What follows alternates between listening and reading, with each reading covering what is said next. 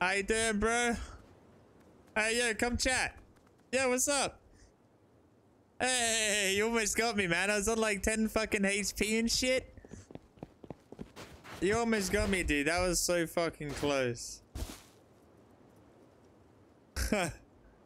there's there's a guy on the pylon over there if you want to dash him out.